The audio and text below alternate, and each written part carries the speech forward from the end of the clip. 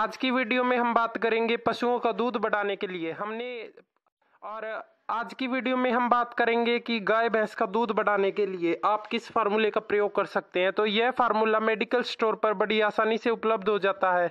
एक किलो का यह प्रोलेक्ट एम नाम का यह पाउडर है और यह पाउडर बड़ा ही ज़बरदस्त एक मिनरल मिक्सचर है। यह बड़ा ही प्रैक्टिकल फार्मूला हमने इसको काफ़ी बार प्रयोग किया और आज मैं इसकी वीडियो बना करके आपके साथ शेयर कर रहा हूँ, क्योंकि इसके काफ़ी अच्छे रिज़ल्ट हैं और यदि आप भी इसको प्रयोग करते हैं तो हम उम्मीद और आशा करते हैं कि आप भी धोखा महसूस नहीं करेंगे और इसको खरीद करके ले आएँगे तो आपको इसकी पूरी कीमत आप पशु को दूध से वापस प्राप्त कर लेंगे।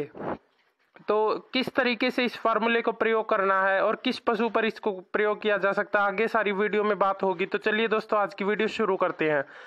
यहाँ पर देख सकते हैं, एक किलो का प्रोलेक्ट एम पाउडर हमने लिया है। इसके साथ में इसके इंग्रेडिएंट्स आप देख सकते हैं। शतावर, सफ़ेद मूसली, जीवंती, इसमें काफ़ी अच्छे जो जड़ी बूटियाँ होती हैं, जो पशु का दूध बढ़ाने के लिए और पशु की दूध की कैपेसिटी, क्षमता को बरकरार रखने के लिए ज़रूरी होती हैं। वो सभी जड़ी बूटियाँ इसमें शामिल की गई हैं।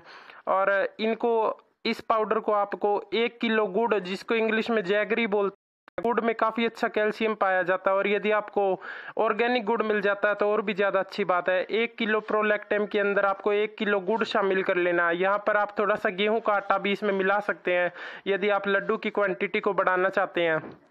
और इसके साथ में आप इसमें 500 ग्राम सरसों का तेल शामिल कर ले। सरसों के तेल की ज़रूरत इसीलिए है क्योंकि लड्डू बनाने में सरसों का तेल से इसको चिकनाई मिलेगी और काफ़ी अच्छे लड्डू बन करके तैयार हो जाएँगे।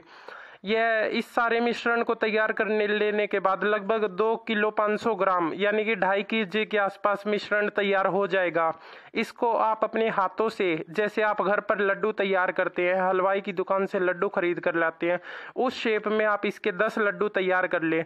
लड्डू का वज़न लगभग बराबर रखना है, दस बीस ग्राम ऊपर नीचे हो सकता है। आपको सभी लड्डुओं की क्वांटिटी मात्रा बराबर रखनी है। दस लड्डू तैयार कर लेने के बाद आपको इनको ढक करके अच्छी प्रकार से एयर टाइट बॉक्स में रख देना है। ऐसे स्थान पर रख देना जहाँ पर इनको हवा खराब ना करे।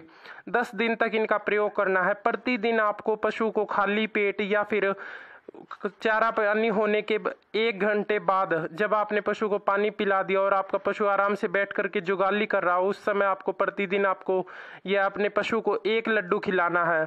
एक लड्डू दस दिन तक आपको ये खिलाना है और आपके पशु का इससे बिल्कुल जायज़ यह फार्मूला है और हम उम्मीद और आशा करते हैं कि जितना आप पशु के ऊपर इसमें खर्चा करेंगे, उससे ज़्यादा आपको वह दूध वापस देगा।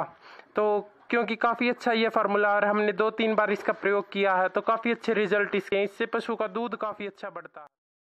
इस मिनरल मिक्सचर से आप अपने ड्राई होते पशु का भी दूध बढ़ा सकते हैं। जो गाय, भैंस, ग्याबिन हो चुकी है और आपको ये कंफर्म है कि वो अभी चार पाँच छः महीने की ग्याबिन है और अभी उसका दूध लगातार कम हो रहा है। तो ऐसे पशु के लिए भी आप इसका प्रयोग कर सकते हैं। ऑक्सीटॉक्सिन टीका लगाने की ज़रूरत जिन पशुओं को पड़ती है उन पशुओं का टीका भी इससे कई बार छुट जाता है और पशु अपने आप दूध देना शुरू कर देता है। इससे दूध का ज़ोर, पावस काफ़ी अच्छा बनता है। जो पशु जो पशु दूध चढ़ा लेता है या दूध देने में आनाकानी करता है, ऐसे पशुओं के लिए भी काफ़ी अच्छा इसका प्रयोग है। तो आप इसका एक बार प्रयोग ज़रूर करें ताकि आपको भी इसके अच्छे रिज़ल्ट मिले और किसान पशुपालन